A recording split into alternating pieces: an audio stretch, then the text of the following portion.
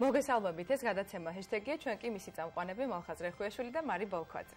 მოკლედ გაგაცნობთ დღევანდელ ჰეშტეგებს, რაზეც ვისაუბრებთ. დღეს 13 ივნისია 2015 წელს. ვერეს ხეობაში მომხდარ ტრაგედიას გავიხსენებთ, რა ვისწავლეთ ამ ტრაგედიით და როგორია დღეს გამწვანებისა და განაშენიანების პოლიტიკა ქვეყანაში. ნატა ფერაძე იქნება დღევანდელი გადაცემის პირველი სტუმარი. გადაცემის მომდევნო ნაწილში საგზაო სატრანსპორტო საშუალებების ახალ რეგულაციაზე უნდა ვისაუბროთ, რომელიც მოპედებისა და მსუბუქი კვადროციკლების მძღოლებს შეეხებათ. ამ და სხვა სიახლეებზე დავით მესხიშვილი ტრანსპორტისა და გზების ასოციაციის თავმჯდომარე ისაუბრებს.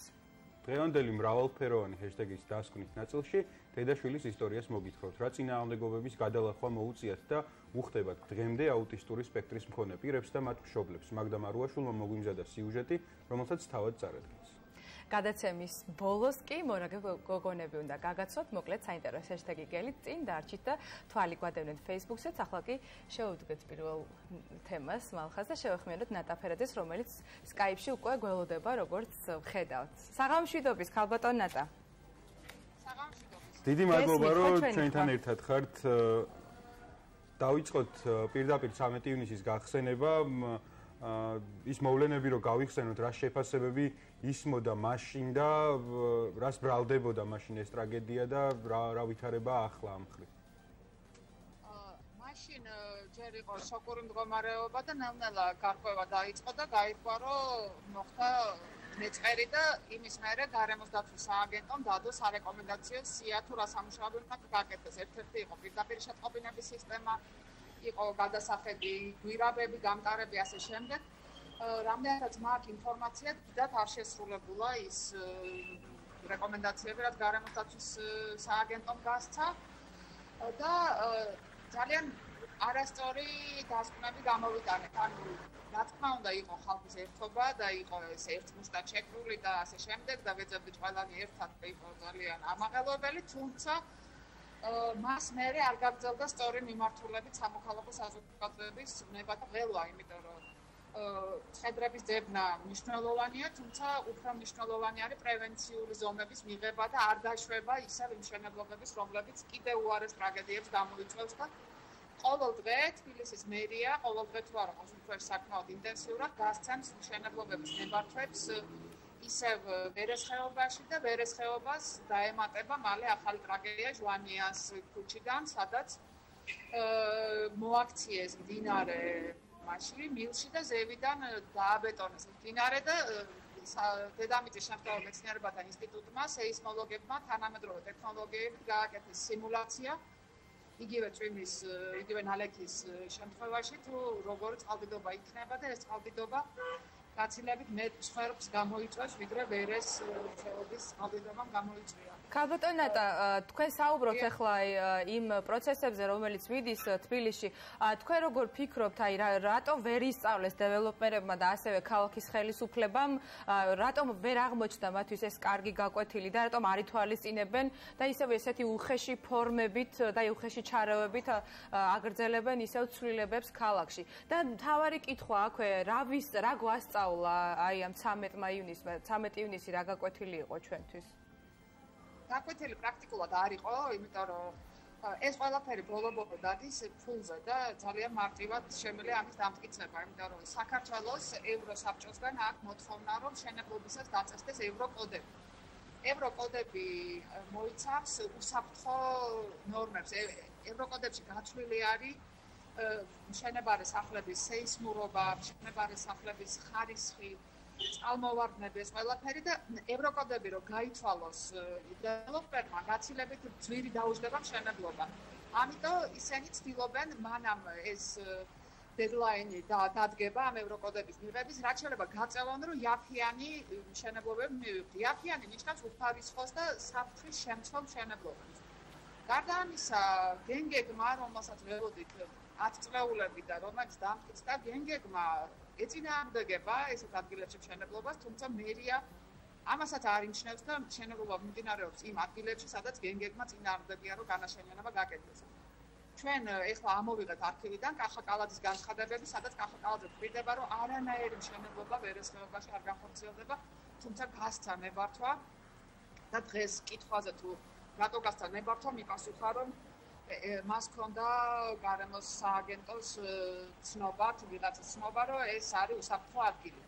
აქ ისმის მეორე კითხვა, კი, მე ჯერ არ მაგარება, რომ კალათს არ მოუწყუები ვარ და ეს ცნობა ქონდა, თუმცა ვინ გასთა ეს ცნობა, რამდენად იყო კომპეტენტური და რამდენად ბატონო? ზუსტად ამ პრობლემას უნდა მივადგეთ ახლა კომპეტენციის პრობლემას და პასუხისმგებლობების პრობლემას კომპეტენციის და კანონების აუცილებლად აი ეს არის იმიტომ რომ არა კომპეტენტური გეოლოგები გასცემენ ცნობებს უსაფრთხოებაზე რის შედეგადაც ჩვენი შვილები ჩვენ ჩვენი მეგობრები ვართ ძალიან სასიცოცხლო სიცოცხლის საფრთხეში. ქალდონ ნატა, ზუსტად ამ თემაზე მინდა ეხა ყურადღება რომ გავამახვილო, ჩვენ გვახსოვს 13 ივნისის ტრაგედია ბუნებრივია და გვახსოვს რომ ადამიანების სიცოცხლე შეეწირა ამ ტრაგედიას და გასული არის 4 წელი უკვე, დღეს გახდა 4 წელი და არ ვიცით ვინ იყო პასუხისმგებელი იმაზე რაც მოხდა. მე სიმართლე გითხრათ, ვერ ვიხსენებ ვერც ერთ ნორმალურ ან ნახევრად ნორმალურ მაინც ქვეყანას, სადაც შეიძლება ამდენი ადამიანი დაიღუპოს და პასუხისმგებელი პირი ან პოლიტიკურად არ აღოს პასუხი, ან სამართლებრივად. ჩვენ შემთხვევაში როგორაა, რა შედეგები დადგა? ვინმეს თუნდაც პოლიტიკური პასუხი თუ აგო ან სამოქალაქო საზოგადოებამ თუ ვიცით ვის დავაბრალოთ და ვის დაუძახოთ ვინ იყო დამნაშავე. ძალიან სწორი და კარგი მიმართულებით დასმული შეკითხვა. ეს ერთ-ერთი ჩვენი ესე ვთქვათ უბედურების სათავე არის დაუსჯელობის სინდრომი. არავის რა თქმა უნდა პასუხი არ უგია და ეს ყველაფერი დაბრალდა სტიქიას თუმცა ეს არ არის სტიქია იყო თავისთავად თუმცა ეს არ არის სტიქია ხდება ყველგან ჩვენ ვიყავით შეუმზადებელი. რატო მოხდა დაგეგმარება? ის შილაკაძე რომელსაც გაყავს გზები და შილაკაძის გაყვანილია გზა რატო მოხდა ინჟინრულად ისე გათვლა იმ გზის? არავის პასუხი არ უგია და დაუჯელობის სინდრომის გამო ეხანდელი აი ახლა შენებობები რომ მიმდინარეობს ისე ნებართვას ვინც გასცემს იცის რომ დაუჯელი დარჩება მისი გაცემული ნებართვაც და იცის რომ უბრალოდ ახლა ფულს ჩაიდებს ჯიბეში და მეორე სახსალამად წავა სახში ყველაფერი მიდის ისე და ისე იმასთან რომ ქვეყანაში არ გვაქვს კანონიერება. ქვეყანაში არ გვაქვს სასამართლო და არ არ ისჯება ის ადამიანი, ვისი დაუდევრობის და არაპროფესიონალიზმის გამო მოხდა ადამიანების ამხანამ მსხვერპლი. ქალბატონ ნატა თქვენ წეგან ახსენეთ და ჩვენ 2015 წელს პრინციპში ვნახეთ სამოქალაქო საზოგადოების რაღაცა ესე არნახული солиდარობა. აა აი ამ შედეგების ლიკვიდაციის პროცესში ძალიან დიდი солиდარობა გამოიჩინა საზოგადოებამ, ერთსულოვანი იყო მთელი თბილისი და რეგიონებიდანაც ჩამოვიდნენ ნახეთ, მაგრამ შევძლებ თუ არა, რომ ისევ ისე ისეთივე ერთიანები ვიყოთ, აი ისეთივე ძლიერები ვიყოთ, როცა ეხება საუბარი აი უკაოტურ განაშენიანებას, როცა ეხება საუბარი მწვანე პოლიტიკის არარსებობას საერთოდ. აი დარეგულირების მოთხოვნა, ჩვენ რა შეგვიძლია რომ გავაკეთოთ სამოქალაქო საზოგადოებას ამისთვის? შეგვიძლია რომ ისევ ასევე ესეთი ძლიერები ვიყოთ, როგორც ვანახეთ მაშინ ხელისუფლებას. ხო, აი ესეთ ძალიან მიზანში გართული შეკითხვა არის. ის ჯგუფი, Facebook ჯგუფი, რომელიც იყო აქტიური და რომელიც აწარმოებდა ორგანიზებას ამ სამოქალაქო საზოგადოების დაფუძნდა პარტიზანული მებაღეობის ბაზაზე. და იქიდან მიმდინარეობდა მენეჯმენტი და ჩართული იყო ძალიან ბევრი, ძალიან განსხვავებული ადამიანი, მათ შორის იყო თავისუფალი უნივერსიტეტის იურისტები, იყო კოლ-ცენტრი და ძალიან ბევრი ადამიანი იყო ორგანიზებაში ჩართული და მას მერე რაც ჯგუფმა მოიკრიბა ამხელა ძალა აღმოჩნდა რომ ჯგუფში ყავდა შემოგზავნილი მენეჯმენტში, მოდერატორებში, ესე ვთქვათ, ჯგუფი შემოგზავნილი ყავდა სამთავრობო სტრუქტურებთან შეკრული ადამიანები, რომლებმაც ბოლოს ნახეს რამხელა ძალის იყო ეს ჯგუფი და გააკეთეს მოგმართეს ჩვენ ჯერ თანახმად მოდერატორებს თხოვნით რომ დაგვეკეტა ჯგუფი, ჩვენ რა თქმა უნდა უარი ვთქვით და ამის მერე გააკეთეს სიმულაცია, რომ ვითომ ეს ჯგუფი დაიხაკა თუ რაღაც დაემართა, იმიტომ რომ სახელმწიფოს რეალურად შეეშინდა ამ ხელა ძალის და აი ამ ხელა მოპრობილი შეკრებილი ძალა, რა თქმა უნდა უკვე ძალიან ყარა დაუდგებოდა წინ იმ შენებლობებს და ახალი გასული იყო ვერეს ტრაგედია, როცა დაანონსდა პირველი შენებლობა მზიურში და დავაანონსეთ აქცია და იქ აღარ გამოვიდა ხალხი. ან საზოგადოება ვართ, ცოტა პანაშვიდებზე თელეხებზე ორიენტირებული და არა პრევენციაზე სიკვდილის.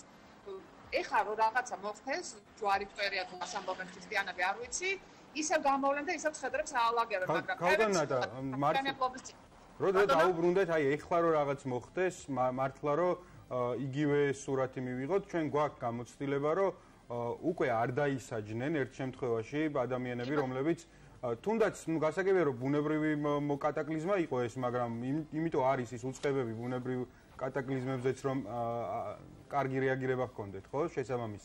ახლა რომ რაიმე მოხდეს, ვინმე იღებს პასუხისმგებლობას აი ამ შენებლობაზე?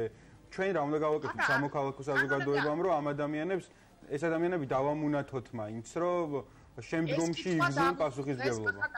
ზუსტად ეს კითხვა დავუსვით, დღეს კახა კალაძეს. ხვალ რომ ჩემ შულს რაღაც დაემართო შენი შენებლობის გამო პასუხს აგებ და ვიქ რაღაც დაიწყო პირჯურის წერა. არავინ არ იქნება ისე პასუხისმგებელი, იმიტომ რომ არაფერი არ შეცვლილა, იმიტომ რომ ისევ დაუჯელობის სინდრომი გვაქვს და ისევ ლეგალურად არის ყველაფერი, იმიტომ რომ არა გვაქვს ის ევროკოდები, იმიტომ რომ ეს კანონი დღეს ესე მთლიან რომ საკმარისი არის აი ამ ჩვენი ძალიან არაკომპეტენტური გეოლოგის დაწერილი კანონის შენებლობა და ამიტომ სასტრაფოდ უნდა მივიღოთ ის ევროკოდები და იმის მიხედვით განხორციელდეთ შენებლობა და გაძვირდეს შენებლობა. ეს გაძვირება ნიშნავს კი ბატონო, ცოტა ძვირს ვიხდით ბინაში, მაგრამ ეს ნიშნავს, რომ ჩვენ ვართ უსაფრთხო და ეს ყველაფერი არის გაწვილი ისე, როგორც უკვე აბზა გამოვლილ ევროპის ქვეყნებში გათვალეს. ანუ საბოლოოდ უკვე რაღაც შეჯამებისკენ რო წავიდეთ ქალბატონ ნატა, ყველა ქალაქს თბილის ბათუმსაც ასევე სჭირდება გენგეგმა და ამ გენგეგმის მიხედვით უნდა მოხდეს განაშენიანება მთლიანად და გამწვანების პოლიტიკაც უნდა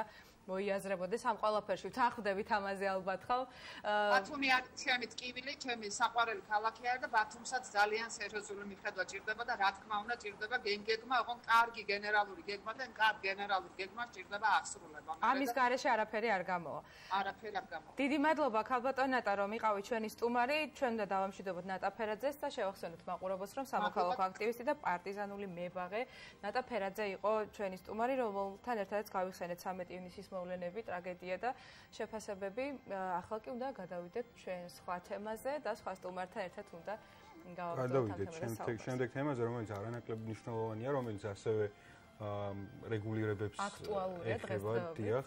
საგზაო სატრანსპორტო საშუალებების ახალ რეგულაციაზე უნდა ვისაუბროთ, რომელიც მოპედებისა და მსუბუქი კვადროციკლების მძღოლებს შეეხებათ, ასევე მიმოიხილავთ ტექნიკ ინსპექტირებისა და მონიტორინგის შედეგებს დავით მესხიშვილი ტრანსპორტისა და გზების ასოციაციის თავმჯდომარე იქნება. ჩვენი სტუმარი რომ შევახსენოთ მაყურებელს ეს ახალი რეგულაცია მოპედებზე და კვადროციკლებზე გულისხმობს რომ მართვის მოწმობა გახდება საჭირო მთელ რიგ შემთხვევებში მაშინ როცა არ იყო მანამდე რეალობა მგვანახო რომ საჭიროა რომ ამ ძღოლებსაც კონდეთ მოწმობები. და მიმოვიხილავთ ასევე დავითთან ერთად ტექინსპექტირების ამბავს იმიტომ რომ ძალიან ბევრი ისტორია გავრცელდა ტექინსპექტირებასთან დაკავშირებით ძალიან ბევრ ხარვეზს გაუსვეს ხაზი და ერთ-ერთი ყველაზე ისეთ საინტერესო ამბავი და ფაქტი, რომელსაც ხშირად წავაწყდებით საინფორმაციო საშუალებებში, ვებგვერდებზე, სოციალურ ქსელებში, რომ ტექნიკური დათვალიერების პროცესში მძღოლები ხშირად მიმართავენ ესეთ ხრიქს, ესე შეიძლება უწოდოთ,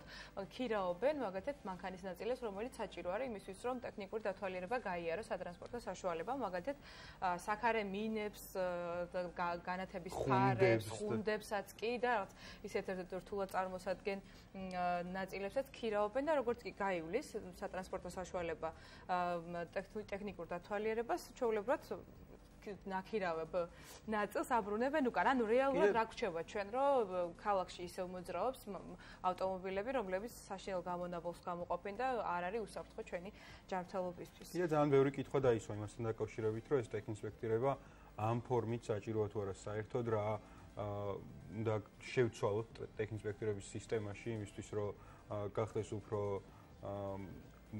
კმედი თუნარი, იმიტომ ჩვენ ნახეთ რაღაც კლუბები, მაგალითად დავით საუცრელად დაუსვა ამის თაობაზე კითხვას. ერთ-ერთი თემა არის რომ კატალიზატორს ქირავენ ხოლმე და მე აბრუნებენ და ერთ-ერთი კლუბის თანახმად, რომელიც ჩატარდა თბილისში, 12 ავტომობილი გააჩერეს, რომელსაც ტექინსპექტირება გავლილი ჰქონდა და ხუთმა ვერ ვერ გაი, ანუ ხუთმა ვერ დააკმაყოფილა გამონაბოლქში მავნე ნივთიერების შემცველობის ნორმა და შესაბამისად გაჩნდა რა თქმა უნდა კითხვები რომ თუ გაიარა ორი კვირის წინ ტექინსპექტირებაზე ეს პროცედურა ახლა რა ვერ გადის? ჩვენ ქალაქში გვინახავს ავტობუსები, რომლებიც ტექნიკურად თვითონ შემოწმებულია და ყველაფერი მწყობშია, თუმცა საშინელ გამონაბოლქს ტოვებს ქალაქში. გვინახავს ნამდვილად. მოკლედ ამ ყველაფერზე უნდა ვკითხოთ დათო მესხიშვილს, რომელიც ჩვენ ახლა ვხედავთ უკვე რომ ხაზეა მოასწრო დავითმა რომ შემოგვიერთდა. შემოგვიერთდა. საღამოშიდობის ბატონ დავით. ეხლა უყურებთ ეკრანს როგორ როგორი სისტრაფით მოახერხეთ რომ მოსულიყავით კამერასთან და ეკრანთან დიდი მადლობა. კიდევ ერთხელ რომ მოახერხეთ რომ მოახერხეთ რომ იმ კითხვებს უპასუხოთ რომელიც დაგროვდა საკმაოდ მე და მალხაზი საუბრობდით ახლა რამდენიმე მიმართულებით დაგროვდა ეს კითხვები და ყველაზე მეტი კითხვა ბუნებრივი არის ტექნოლოგიების მიმართულებით. თქვენ თქვენი ორგანიზაცია როგორც ვიცით ცალკე კიდე ალტერნატიულ შემოწმებას აკეთებდა ტექნოლოგიების პარალელურად. აი ტექნოლოგიების მთავარი შედეგი დადებითი შედეგიც და უარყოფითი შედეგიც რა იყო? ამაზე რომ გითხრათ და თქვენი პარალელური შემოწმების შედეგად რა რეალობ ავტომობილების წინაშე დავდექით, რა გამოჩნდა? დიახ, მე დღესდღეობით უკვე წარმოვადგენ ავტომობილების ინსპექტირების ცენტრების ასოციაციას, ამიტომ უშუალო შეხება მაქვს უკვე ამ პროცესში და ვაკვირდებით, ხო? ანუ ხარვეზები შემოწმებისას არა მარტო ავტომობილებს აქვთ, არამედ უნდა ვაღიაროთ და ღიად ვთქვათ, რომ პროცესშიც არის გარკვეული პრობლემები, გარკვეული ხარვეზები, რომელიც საჭიროებს აღმოფხვრას და პირველ რიგში მე დავიწყებდი მენეჯმენტის ნაწილში, იმიტომ რომ ეს ასეთი დიდი რეფორმაა ხო დაწყებული 1.200.000-მდე ავტომობილს ეხება ეს პირდაპირ, მაგრამ ვინაიდან ტრანსპორტით სარგებლობთ ყველა, გამოდიშო პრაქტიკულად ყველას გვეხება ეს საკითხი. ასეთი რეფორმის დროს მის გამართულობაზე პასუხისმგებელი სახელმწიფო სტრუქტურები უფრო უნდა იყვნენ პროცესში ჩართულები, უფრო უნდა იყოს მენეჯმენტი გამართული და ის პრობლემები, რაც იკვეთება, უფრო სწრაფად უნდა რეაგირებენ. ну მაგალითისთვის დავიწყოთ იმით, რომ მთავარი პრობლემა გამოიკვეთა რაში, რომ ინსპექტირებისთას არის არაერთგვაროვანი მიდგომა. ეს რას ნიშნავს, როდესაც ერთი და იგივე პრობლემის მქონე ავტომობილი, ან ხარვეზის მქონე ავტომობილი ერთგან ვერ გადის და მეორე ცენტრში მიდის და იქ გადის. ხო, აქ ხოჭდება უკვე კითხვა. თუ ერთნაირი სტანდარტია ყველასთვის, მაშინ როგორ ახერხებს ეს სატრანსპორტო საშუალება, რომ ერთგან ვერ გაიარა, წავიდა და მეორეგან გაიარა. ეს არის ძალიან სერიოზული პრობლემა, იმიტომ რომ წარმოიქნა კეთილი და ბოროტი ინსპექტორების მითი ალბათ თქვენს გეკნებათ გაგონილი უკვე რომ მოდი აქ კი არ წახვიდე იქ მიდი იქ უფრო ადვილად გაიგე. ისე როგორც მარტის მოწმობაზე რომ აი წავალდა იქ ოზურგეთში ჩაოვარებ მართვის მოწმობაზე, იმიტომ რომ ბათუმში უფრო მკაცრები არის. არა, ოზურგეთში უბრალოდ რიგები არ არის. დავაზუსტოთ, იმიტომ რომ ჩვეულებრივი გამოცდადება იქაც მალხა. აი, მახსოვს რომ ეგეთი მითები, იმიტომ რომ იქ თულია და აქ მარტივია. ხო, იმ ფონზე, როდესაც ინსპექტირების შემთხვევაში ხლა ის რეგლამენტი არის მკაცრად გაწერილი, ზუსტად ეს ბადებს, ხო, კითხვებს, რომ როგორ როგორ როგორ ხდება ეს, რომ თუ რეგლამენტი ყოველთვის ერთია, კრიტერიუმი შემოწმების ყოველთვის ერთია, როგორ ხდება ისე რომ ერთგან გადის, მეორეგან ვერ. ნუ ჩვენ ამის ახსნა გვაქვს. პირველ რიგში ეს არის გამოწვეული იმით, რომ უნდა გადამზადებულიყო ინსპექტორები ყველა, აბსოლუტურად ყველა კომპანიის, არა აქვს აქ მნიშვნელობა, რომელ კომპანიებს საუბრობთ, საერთო მიდგომით. იმიტომ რომ არის რაღაც, რაც არის რეგლამენტში, არის რაღაც, რაც ადამიანის უნარჩვევებზეც არის დამოკიდებული, ამიტომ მათი ერთიანი გადამზადება იყო ძალიან მნიშვნელოვანი პროცესი. მეორე პრობლემა აქ არის პროგრამა, აი მაგალითად თქვენ რომ დაინტერესდეთ ახლა სტატისტიკით, რამდენმა სატრანსპორტო საშუალებამ გაიარა სულ ინსპექტირება, ან რა იყო მთავარი მიზეზი, რის გამოც დახარვეს და სატრანსპორტო საშუალებები. შინაგანსაკუთრების სამინისტროს სხვა სტატისტიკას მოგაწვდით აკრედიტაციის ცენტრი, რომელსაც პირდაპირ ეხება ის სხვა სტატისტიკას მოგაწვდით. ამ დროს ასოციაციას შემუშავებული აქვს ელექტრონული პროგრამა, რომელიც შეიძლება ყველა ცენტრისთვის ყოფილიყო საერთო და ამ პროგრამაში მოთავსებულიყო ინფორმაცია. ანუ ერთიანი პროგრამა არის უმნიშვნელოვანესი ღონისძიება. ერთიანი ელექტრონული პროგრამა, სადაც ყველა შემოწმების, ყველა შედეგი შევა ამ პროგრამაში და ყველას გვექნებოდა საერთო საერთო ინფორმაცია. სტატისტიკა თუ არ გასული. სახელმწიფოს სახელმწიფოს როლი ძალიან საინტერესოა ამ პროცესში, იმიტომ რომ ჩვენ ნახეთ, რომ ერთი მხრივ შეიქმნა მითი კეთილი და ბოროტი ინსპექტორების მეორე მხრივ ნახეთ რომ ადამიანები ქირაობენ რაღაც ნაწილებს იმის რომ ტექნიკინსპექტორება გაიარონ მათ შორის ხშირად ინსპექტორებიც სავარაუდოდ ხდებიან მთელ რიგ შემთხვევებში ამ манипуляციის შესახებ, მაგრამ არ ამახვილებენ ყურადღებას. რა შეიძლება იყოს სახელმწიფოს როლი ამ ამ ვითარებაში, რომ ეს манипуляციები რაც ხდება აირიდოს თავიდან? ხო, პირველი ორი საკითხი რაც მე ჩამოვთვალე, ხო, აქაც სახელმწიფოს როლი არის მთავარი, არ სწორი მენეჯმენტი უნდა იყოს, იმიტომ რომ პრობლემები რო ჩდება, იმას ჭირდება გადაჭრა. ჩვენ მაგალითად ვიცით, რომ აკრედიტაციის ცენტრი კონკრეტულად ტექნიკურ ტექნიკური ხასიათის პრობლემებზე მუშაობს, ხო? ანუ ცენტრი აკმაყოფილებს თუ არა სტანდარტებს და ამ შემდეგ, მაგრამ პოლიტიკა, აი ამ როგორ მიდის პოლიტიკა, არის წარმატებული ეს რა ხარვეზები გამოვლინდა, ხარვეზი რო გამოვლინდა დაუშვათ პროცესში გულისხმობდა რა კონკრეტულად ავტომობილზე ამ შემთხვევაში, დაიგეგმა თუ არა პრევენციული ღონისძიებები და ასე შემდეგ და ასე შემდეგ. აი ეს პოლიტიკა სწორად მიდის თუ არა სახელმწიფოს უნდა ქონდეს მონიტორინგი. ჩვენ ხედავთ რომ ეს ძალიან სუსტად არის სახელმწიფო წარმოქმნილი და თუნდაც აკრედიტაციაზე როცა ვსაუბრობთ ეხლა, ვსაუბრობ, ხო, აკრედიტაცია ერთ-ერთი თავარი ორგანო, წარმოიდგინეთ რომ ამ ხელა რეფორმაა დაწყებული და მას არხავს დირექტორი. აკრედიტაციის ცენტრი, ანუ ეს ასეთი რეფორმა და აკრედიტაციის ცენტრი მუშაობს გენერალური დირექტორის გარეშე. ეს ხო არაფერში არ ჯდება, ხო? ასეთ რეფორმას, რომელსაც პირდაპირ მონიტორინგი ჭირდება იმ დროს.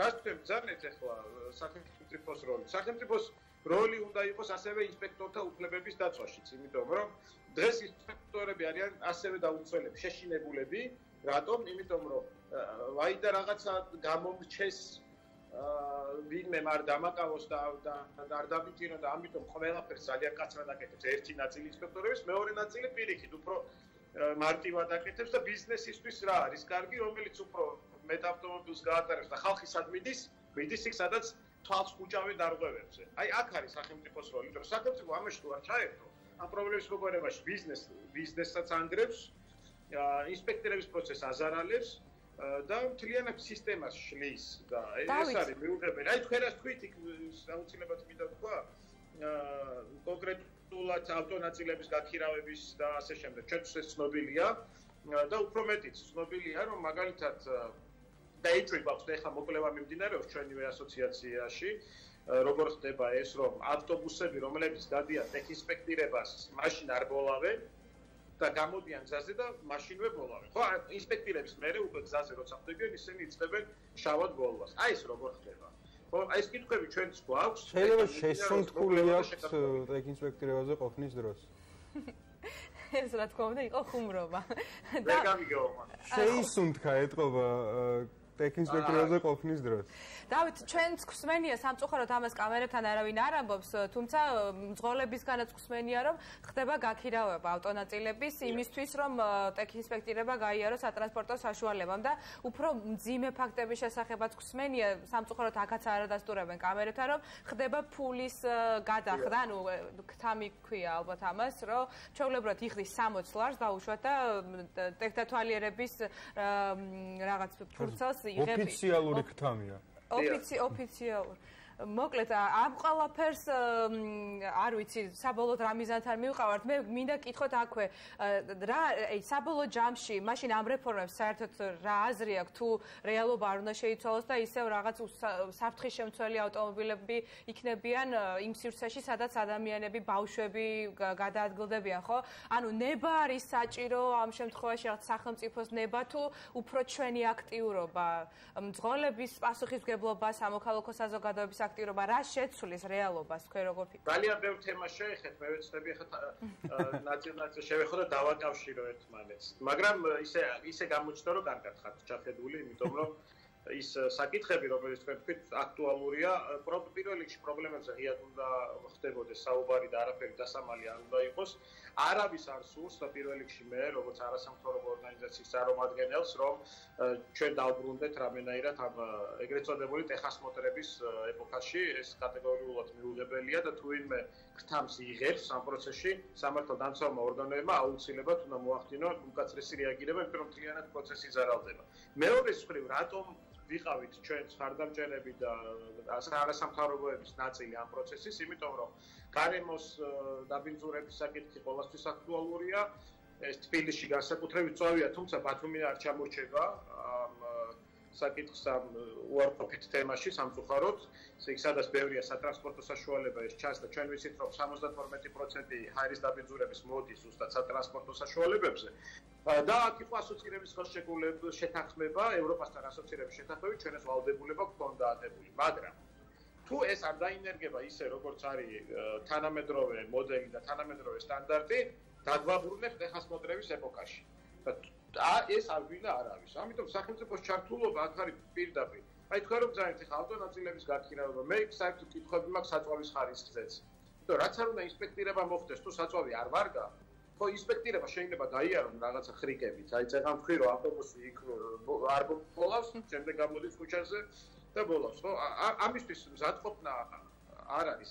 არ აღმოჩნდა მზადყოფნა. მზად პროცესი და რა არის საჭირო, ხო? ამის მოსაბარებლად პირველ რიგში story management-ი და ამ პრობლემების ანალიზი, რომელიც სახელმწიფოს მხრიდან ძალიან სუსტად კეთდება, ამიტომაც ვერ ინერგება ახალი სტანდარტები. აი მაგალითად თუ ვიღაცამ ავტონაწილები იქირავა, გააკეთა, ხო, ეს არ ითვლება დანაშაულად, იმიტომ რომ ვიღაც აქირავებს ავტონაწილებს. წარმოვიდგინოთ, ხო, ეს რა დანაშაულია, გაქირავება არ არის დანაშაული, მაგრამ როდესაც ეს ადამიანი ინსპექტირებას გადის და შემდეგ უკვე უკან აბარებს და ისევ ტექნიკურად გაუმართავი სატრანსპორტო საშუალებით გადაადგილდება, აი აქ არის სახელმწიფოს როლი მნიშვნელოვანი. სად არის ამ შემთხვევაში კანონის აღსრულება? და პირველ რიგში ეს ალბათ უფრო მეტი აქტიურობა მართებს საპატრულო პოლიციას და ესე უნდა მოგვარდეს, მაგრამ ნუ მენეჯმენტი არის მთლიანად გასამართი გეთახმებით და ხო, ერთი საზოგადოებას ვინმე მაუხსნა რომ ეს რატომ არის ეს პროცესი მნიშვნელოვანი? და დავშად ავადობის მაჩვენებლები რო არის გაზრდილი ბავშვთა ასაკში განსაკუთრებით ძალიან წავედ დგას მდგომარეობა რესპირატორული დაავადებები, ბუსის დაფთა დაავადებები. აი ამ სტატისტიკის ჩვენება არ ხდება. კვლევის გამოქვეყნება არ ხდება. რატომ არის ინსპექტირების გავლა მნიშვნელოვანი? ამის ცნობიერების ამაღლების კამპანია უდრის ნულს. ეს არის ძალიან ცუდი, იმიტომ რომ ყველა ადამიანს წარმოუდგენია ის ავტომობილი ყავს და მით უმეტეს ძველი რომ აი სახელმწიფო მებრძვის მე და კიდე ერთსაც დავამატებ ეს მარტო ტექინსპექტირების პრობლემები არ გვარდება, რაც თქვენ ჩამოთვალეთ, ტექინსპექტირება არ არის რაღაცა.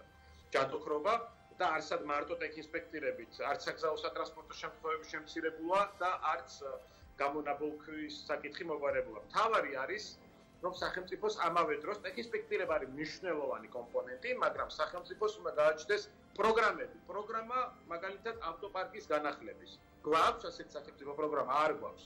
მაგალითად, ძველი ავტომობილის 1 წლის და 1 წლამდე ავტომობილის გამბაჟება უფრო ძვირი ჩდება, ვიდრე 5-6 წლის ავტომობილის და რითი აიხსნა ეს იცი? იმიტომ რომ ვინც ახალს ყიდულობს, იმას მეტი ფული აქვს, ხო? სტარი შეხედულება.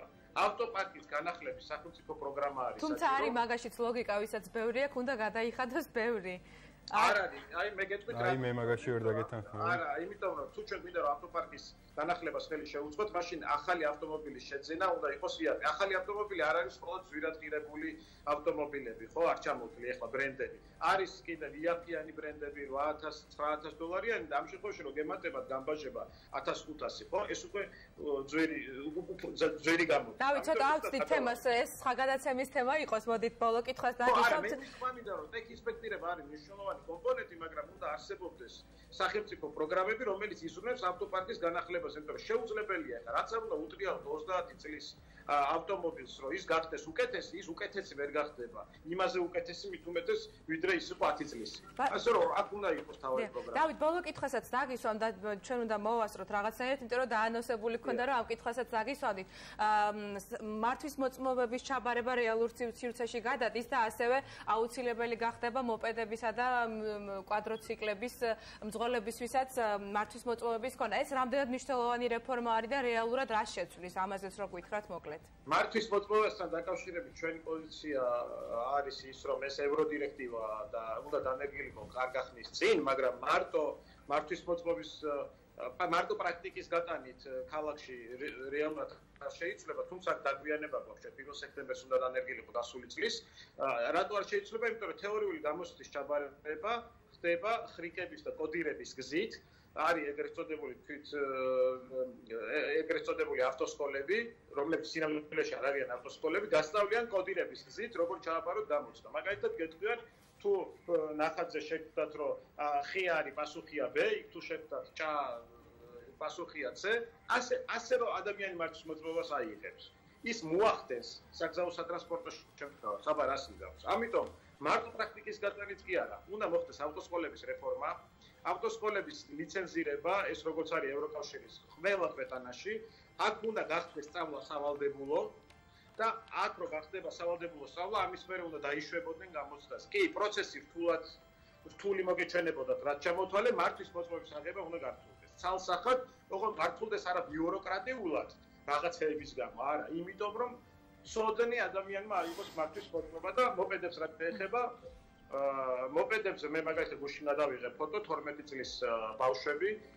გადატვირთო საგზაო მოძრაობაში მოგეხსენება თბილისში გადაკეტილია რამდენიმე გზა ქუჩა უბრალოდ და გადატვირთო საგზაო მოძრაობაში 12 წლის ბავშვები მოპედით გადაადგილდებოდნენ, რაც ნიშნავს იმას, რომ აი არ მინდა რომ ძალიან კატეგორიული ვიყო, მით უმეტეს არასა მორალისტური ის გამოამჟღავნა, მაგრამ რომ ვინ უყიდა ან როგორ უშვებენ ბავშვებს, 12 წლის ბავშვებს მოპედით ანუ ეს ხო თვითშეგნების საკითხიც აი რომ ბავშვი არ გაუშვა იქ სადაც ისედაც ბევრი საგზაო სატრანსპორტო შემთხვევა ხდება და თავდება სიფრილიანობით. ამიტომ, როდესაც თვითშეგნების დონე აი ეს ამ კუთხით არის ესეთი დაბალი, მე ვემხრობი მადლობა. მას ჩინეთის საქმის სამინისტროს ინიციატივას ვემხრობი, რომ პირველ რიგში არა მარტო მოპედების ასე ვთქვათ, მართვის მოძღვრის რაღაც კატეგორიაზე იყოს საუბარი, არამედ ჯერ მოხდეს ამ მოპედების რეგისტრაცია, მიენიჭოს ნომერიც და ის ჩაითვალოს როგორც სატრანსპორტო საშუალება, ზუსტად ისეთი, როგორც არის მოტოციკლი მაგალითად, და მოხდეს მართვის მოწყობის ჩაბარებას, რატომაც არა. ასაკი დავით შეიძლება. უნდა დაგემშვიდობოთ სამწუხაროდ დრო აღარ დაგვრჩა. მადლობა. ავტომობილი პრეთან ჩართვა, როგორც ყოველ საჭერას ხშირად ვერთოები ხოლმე და რაც უფრო ხშირად მომიწვევთ, მეც უფრო ხშირად ჩავარდ. კიდევ არა ერთხელ ვისაუბრეთ. ახლა რომელიც არის ცალკე გადაცემის თემა, მადლობა და დღეს შევთანხმდით ამ გადაცემაში, რომ კეთილსინდისიერი და პასუხისგებლიანი მოქალაქეები არის გამოსავალი.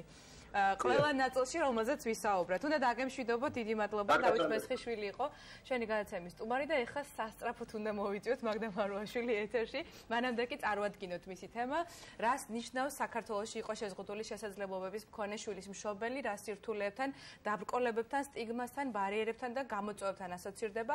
ამასთან არის თუ არა საქართველოსი შესაბამისი სერვისები და ხელშეწყობის პოლიტიკა. რა უნდა იცოდეს საზოგადოებამ ოჯახმა სახელმწიფომ რა საკითხებია აუცილებლად გასათვალისწინებელი მათთვის ვინც ჯერ კიდევ არ იცის როგორ მოიქცეს ამგვარ ვითარებაში იუნისეფის და აჭარის ტელევიზიის ერთობლივი პროექტის ფარგლებში მაგდა მარუაშვილი მორიგ სიუჟეტს წარადგენს მაგდას შემოგვიერთდი და დავიწყოთ მორიგ ჰეშტეგზე საუბარი. შენ დრო ცოტა წავიღე. მოგესალმებით. არა უშავს. აა მოკლედ გითხარით ვინ არიან შენი გმირები და რა სირთულების დაძლევა უწევთ ყოველდღიურ ცხოვრებაში მათ? აა მოგესალმებით. ჩემი დღევანდელი სიუჟეტის გმირები არიან ადამიანები, რომლებიც არა მარტო დღეს, არამედ წლების განმავლობაში უამრავი დაბკოლების, სტიგმის, სტერეოტიპის მსხვერპლი იყო, თამამად შემიძლია ვთქვათ. და რომელიც ხშირ შემთხვევაში მარტო იბრძოდა საზოგადოებისა და სახელმწიფოს წინააღმდეგ, იმ სახელმწიფოსა და იმ საზოგადოების წინააღმდეგ, რომელიც თვალს ხუჭავს შეზღუდული შესაძლებლობების მქონე პირების საჭიროებებზე, ან ზრუნავს მათზე მხოლოდ გარკვეულ ასაკამდე და ამ შემდეგ აღარ აინტერესებს მათი ბედი და მათი მომავალი.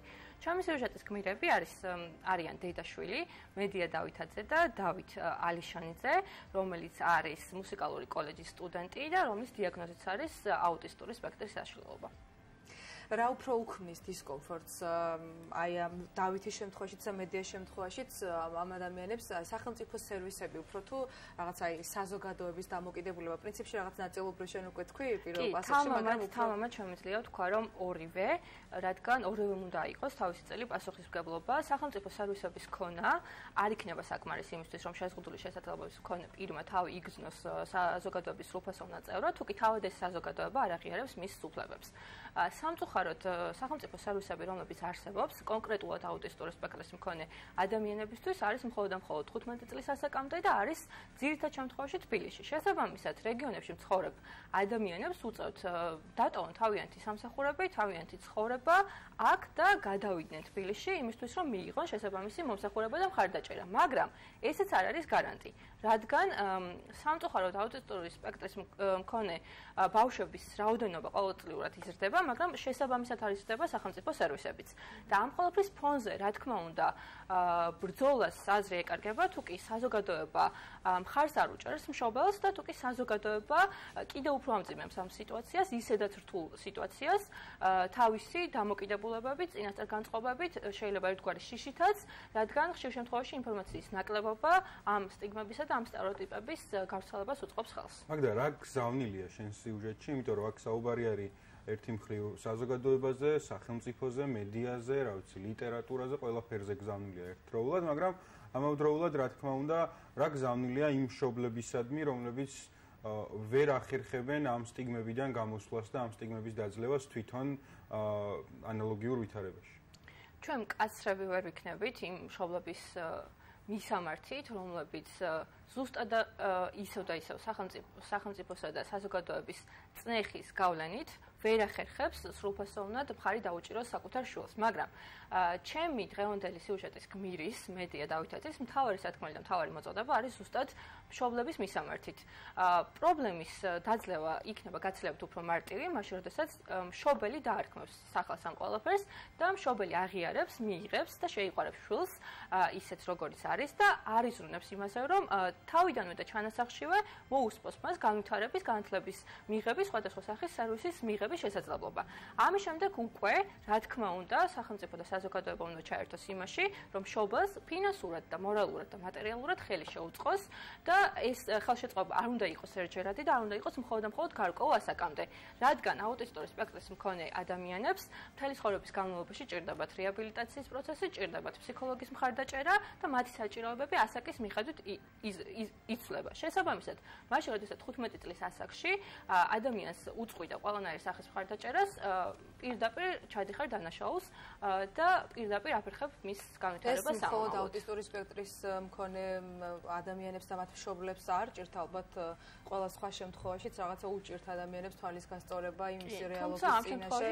რაც აქვთ და რაღაცა იბრძვიან რა გამოსწორდება, გამოსწორდება და აი ამ მე ცხოვრობენ ასე ადამიანები. უნდა თქვათ, რომ როგორც ქალბატონო მედიამ აღნიშნა, განათლების მხრივაც კი გაცილებით უფრო რთული სიტუაციისა და პრობლემების წინაშე სწორედ აუტისტური სპექტრის მქონე ბავშვები აღმოჩნდებიან, რადგან მაგალითად პროფესიულ სასწავლებელში მათ საჭიროებებზე მორგებული პროფილები და მიმართულებები სამწუხაროდ არ არის. და ეს პრობლემა ძალიან ბევრ სფეროში და ძალიან ბევრ ძალიან ბევრი მიმართულებით ვრცელდება სამწუხაროდ, თუმცა როგორც ქალბატონმა მედიამ აღნიშნა, მან დათოსთან ერთად და მისი ძალისხმევით დაამარცხა.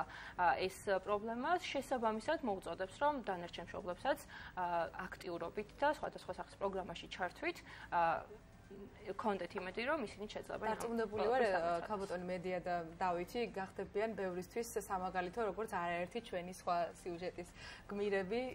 ასე რომ მოდი ნახოთ ახლა შენი სიუჟეტი და მაგდას დავუშვიდობთ მაგდას ამ სიუჟეტისთვის და ჩვენს მაყურებელს შევთავაზოთ სიუჟეტი რომელიც შეგახსენებთ რომ იუნისეფისა და აჭარის საზოგადოებრივი მაუწყებლის ერთობლივი პროექტის ფარგლებშია მომზადებული მადლობა მაგდა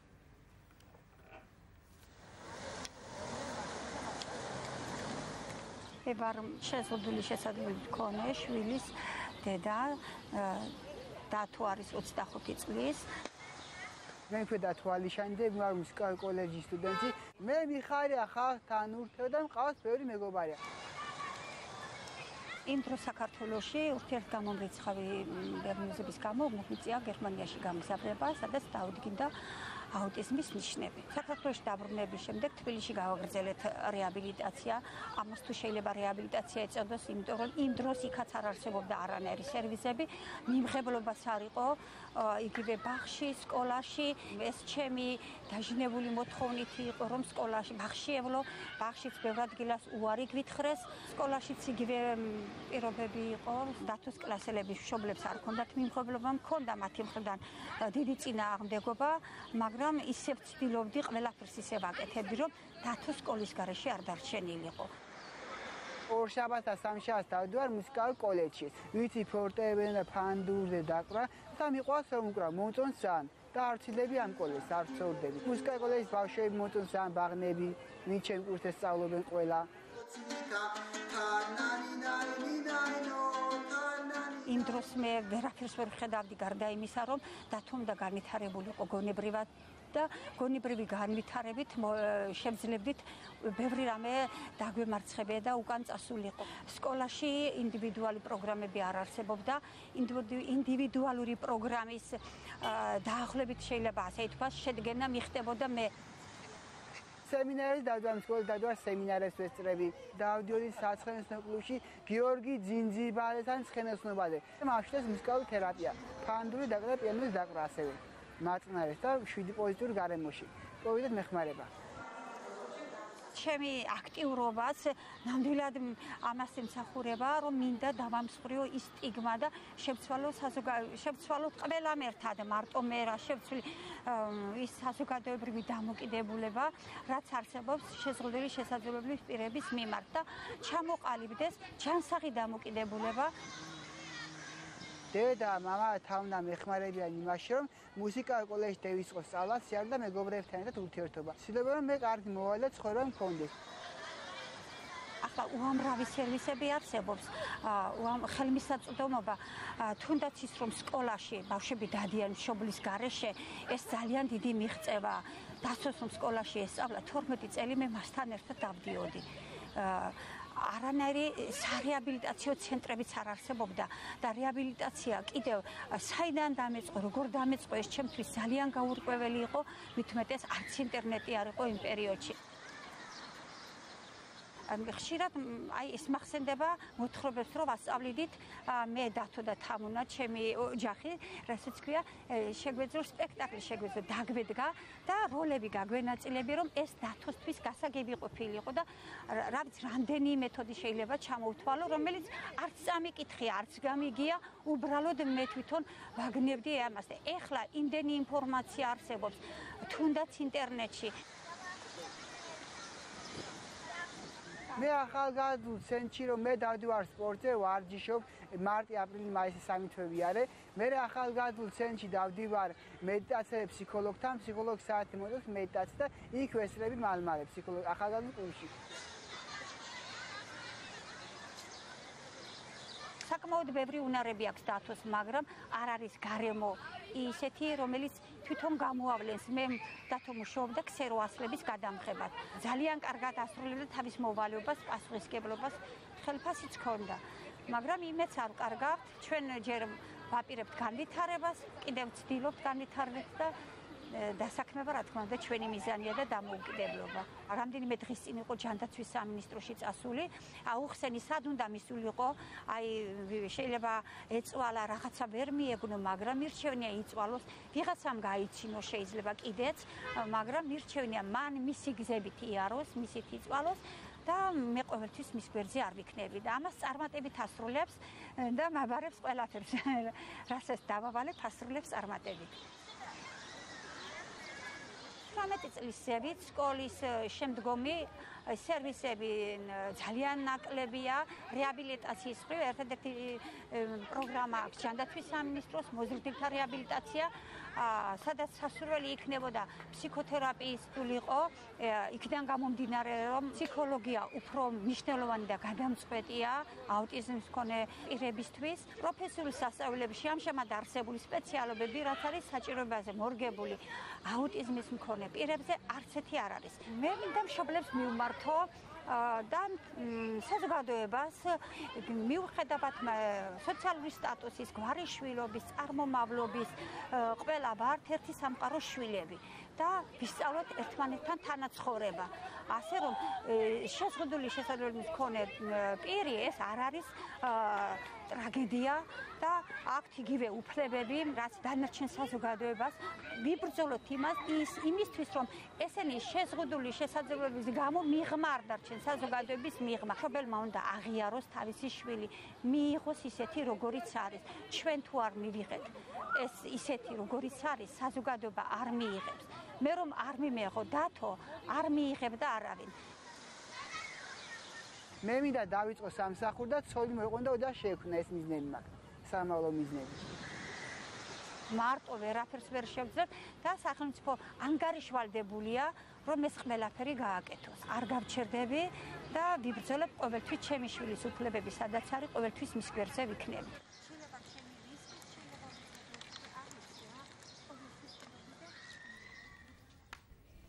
ჩვენ დაუბრუნდით ეთერში და გადავიდეთ შემდეგ ჰეშტეგზე პროექტ სიტყვის თავისუფლების მხარდაჭერის ფარგლებში დღეს სოფიო ძირკვაძე წარადგენს თავის სიუჟეტს. მოვბრძანდი სოფიო და თავად გვიამბე რაზეა შენი სიუჟეტი. გითხარი რა მოგვიმზადეთ დღეს ამ პროექტის ფარგლებში? ვინერია შენი გმირები? რატომ გადაწყვიტე რომ ამაზე გაგეკეთებინე სიუჟეტი და ასე შემდეგ? მოგესალმებით, მივესალმები ჰეშტეგის მაყურებელს. ჩემი სიუჟეტი შეეხება ოზურგეთში მცხოვრებ მორაგბე გოგონებს, რომლებიც ეს თქვათ აქტიურად არიან დაკავებული სპორტით და ძალიან საინტერესო იყო ჩემთვის რომ გავიგე ეს ინფორმაცია მურაგბე გოგონები. ასე ვთქვათ რაღაცა ძალიან განსხვავებულია და ახალია ჩვენი საზოგადოებისთვის რადგან როგორც ჩემი სიუჟეტში აღნიშნავენ გმირები ხშირად რაღაცა ისეთი დამოკიდებულება აქვს რომ მურაგბე გოგონები როგორ შეიძლება რაგში გოგო იყოს. შენ ხო არ გაგიგეთ დამოკიდებულება? მაგიტო ხო არა.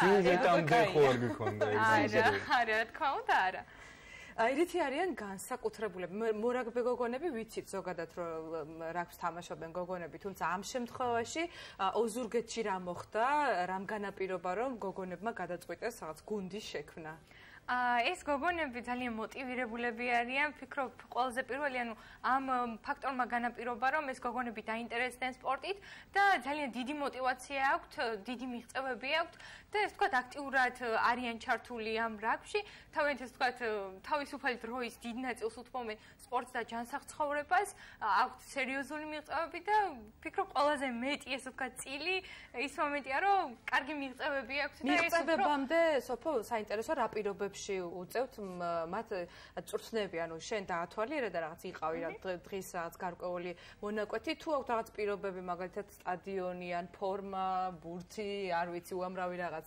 აღჭურვილობა, რაც არის საჭირო იმისთვის, რომ სრულფასოვანი წვრთნა გაიარონ და შედეგად, ისეთ შედეგიც გქონდეთ, ხო? რა პირობებში არიან გითხარი?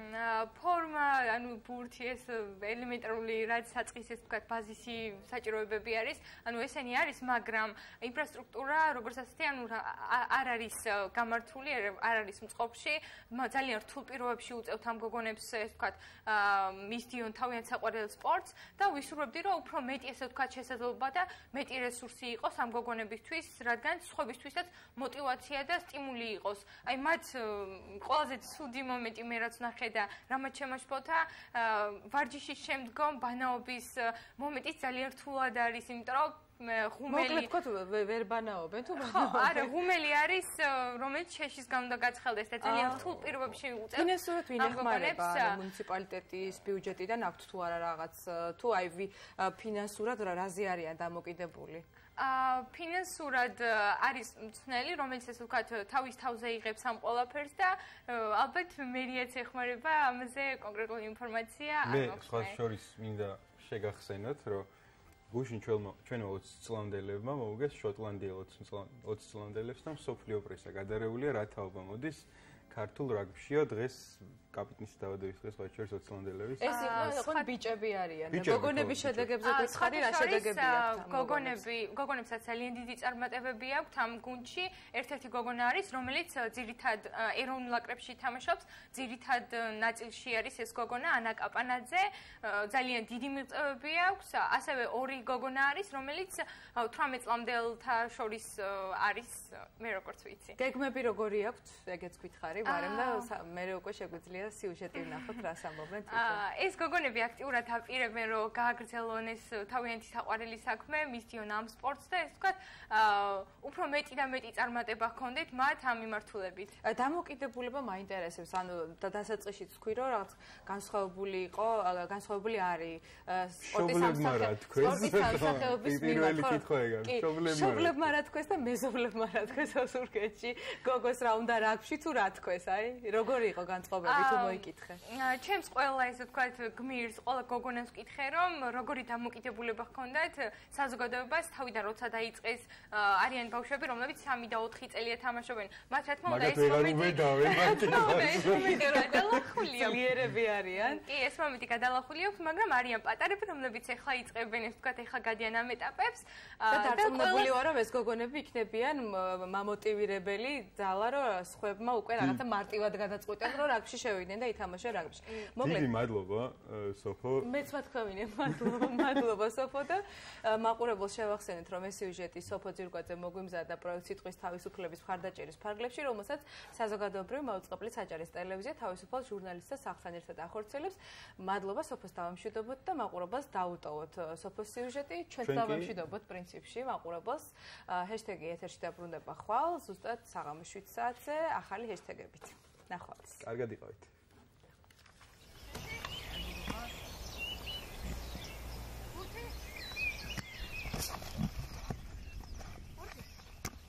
ძალიან დიდი სურვილი მქონდა რომ გაგვეკეთებინა გოგონათა გუნდი 4 წლის უკან ჩაეყარა ყოველივე საფუძველი, დაიწყეთ ერთი გოგონათი, შემდეგ ეტაპობრივად გაიზარდა გოგონების რაოდენობა, დღეს უკვე 13-ნი არიან. ძალიან წარმატებული ბავშვები არიან, მინდა აღვნიშნო, სამი გოგონა ოზურგეთის არწივებიდან არის ნაკრებში, ერთი არის ეროვნულ ნაკრებში, ანა კაპანაძე, ორი გოგონა არიან 18 წლამდე თაშორის. კარგია, ბურთი მოვითხოვოთ, ბურთი. ბურთი. კარგია. რაგბი არის გუნდური თამაში. იბრძვი რომ შენი გუნდიც ასახელო და შენც გამოიჩინო თავი. მომეწონა ნუ ადამიანები ჩემი წვრთნელი და მაგრამ მიმიზიდა და გადავწყვიტე რაგბში შესვლა. ნუ რაც რაგბს თამაშობ არის სულ 3 წელი და მაინტერესებს მეგობრებმა. როდესაც შემოვედი ცოტა მერტულა, მაგრამ შემდეგ მომეწონა ძალიან და ვაპირებ რომ ბოლომდე გავყვე. მე უკვე 3 წელია რაგბს თამაშობ. თავი პატარაობიდანვე მინდოდა რომ რაგბი მეთამაშა, იმიტომ რომ ეს ჩემ სტილთან დაკავშირებული იყო. თავიდან სკოლაში იყო მოსული გოჩა მასწავლებელი რაგბის სათამაშოდ, იმის მერე იქ დავდიოდი და შემდეგ აქ გადმომიყვანენ ჩემი წარმატებების შემდეგ. ან ჩემი ბევრი ნაცნობები თამაშობს რაგბს და მათ შემოთავაზეს ეს იდეა რომ დამეწყო რაგბის თამაში. ეხლა ხან დავიწყე რაგბის თამაში და ვაპირებ გაგრძელებას. გუმარში. თავიდან ტელევიზორშიც უყურებდი, კომპიუტერშიც უყურებდი და ამით დავინტერესდი და შემოვედი. გოჩა მასწავლებელი იყო ჩვენ სკოლაში მოსული და განაცხადა. კარგია. ასი მოვითხოვ. დავედი, ბურთი, ბურთი მოვითხოვ. ბურთი სალო. ბურთი. კარგია. ბურთი. ან ყოფილა ისეთი ფაქტორიც, რომ აი ძალიან კარგი ბავშვი გვინახავს და აი შემდეგ ყოფილა მშობლებთან დაკავშირებით პრობლემა, რომ აი გოგო მყავს და ეხლა სპორტში როგორ შემოვიყვანო და რაღაც ისეთი რაღაცები. თავიდან ცოტა იყო რომ რა უნდა გოგოს რაგბში ან რა გოგო სპორტია რაგბი, მაგრამ რავი, ჩემთვის დიდი აზრი არ აქვს იმას, რომ ვინ რას ფიქრობს. თავია მე რა მინდა. ზოგადად ხო უკვირდა თო გოგოს რაგბში რა უნდა რამეს იტკენ, მაგრამ უკვე დავარღვეთ ეგ სტერეოტიპი, გოგო რაგბშიცაა და ნებისმიერ სიტუაციაში შეუძლია გოგო იყოს. თავიდან მეუბნებოდნენ გოგო რაგბში რა უნდა, მაგრამ ახლა შეეჩვიან და აღარ მეუბნებიან. თავიდან რაგბის წინააღმდეგი იყო ჩემი მშობლებიც და ყველა ჩემი ნათესავებიც, მაგრამ დავამსხრია ის სტერეოტიპი, რომ გოგომ უნდა ითამაშოს რაგბი. ის სტერეოტიპი, რომ აი გოგო გოგოს საქმე არ არის რაგბი, ეს არასწორია, რაგბი არის ყველას თამაში, თამაშობს ქალიც, კაციც არ აქვს მნიშვნელობა. და ვისურვებდი, რომ აი მშობლების დაინტერესება იყოს პირველ რიგში, რომ მოიყვანონ ახალგაზრდა თაობა, აზიარონ იმ სპორტს, რასაც ქვია რაგბი.